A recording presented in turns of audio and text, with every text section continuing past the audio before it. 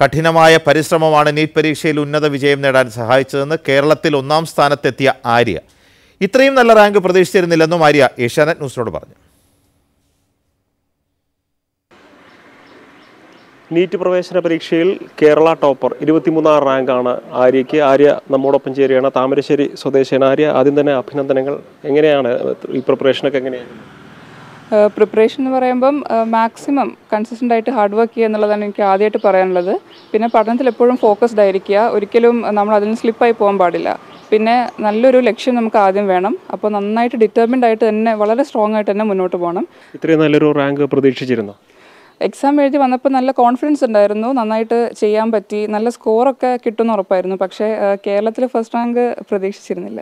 നേരത്തെ പറഞ്ഞ പോലെ കോൺഫിഡൻസ് വലിയൊരു ഘട്ടമാണ്. ഇപ്പോൾ പരീക്ഷയ്ക്ക് മുമ്പുള്ള ഒരുപാട് പരിശോധനകൾ അത് പലരെയും കോൺഫിഡൻസ് ലെവൽ കുറയ്ക്കുന്നൊക്കെ പരാതികളുണ്ടായിരുന്നു ആ ഒരു ഘട്ടം എങ്ങനെയുണ്ടായിരുന്നു ആഹ് എനിക്ക് കിട്ടിയ സെന്ററിൽ അങ്ങനെ ഒന്നും കുഴപ്പങ്ങളൊന്നും നേരിടേണ്ടി വന്നിട്ടില്ല. വളരെ ഫ്രണ്ട്ലി ആയിട്ടായിരുന്നു അവിടുത്തെ ഇൻവിജിലേറ്റേഴ്സും ബാക്കി ഓഫീഷ്യൽസും ഒക്കെ.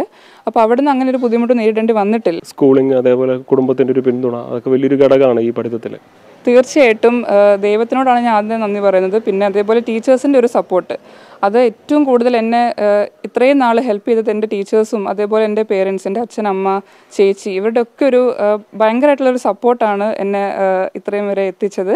അപ്പോൾ എപ്പോഴും നല്ലൊരു സപ്പോർട്ടാണ് എല്ലാവരുടെ അടുത്തും എനിക്ക് കിട്ടിയിട്ടുള്ളത്. മികച്ച റാങ്കാണ്. നമ്മൾ ആഗ്രഹിക്കുന്നിടത്ത് പ്രവേശനം കിട്ടുമായിരിക്കും. അപ്പോൾ എങ്ങനെ എവിടെയാണ്? മനസ്സിൽ അങ്ങനെ ഒരു കേന്ദ്രങ്ങളുണ്ടോ?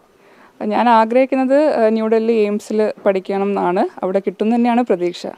ഇതിൽ സ്പെഷ്യലൈസേഷനാണ് ആഗ്രഹിക്കുന്നത്. അതിപ്പം ഞാൻ ഡിസൈഡ് ചെയ്തിട്ടില്ല. വഴിയെ കോഴ്സ് നടന്നുകൊണ്ടിരിക്കുമ്പം തീരുമാനിക്കാമെന്ന് വിചാരിക്കുന്നു. എല്ലാവിധ ആശംസകളും. എം എ ജി ജോയ്ക്കൊപ്പം ശ്രീധരൻ ദേശാന ന്യൂസ്.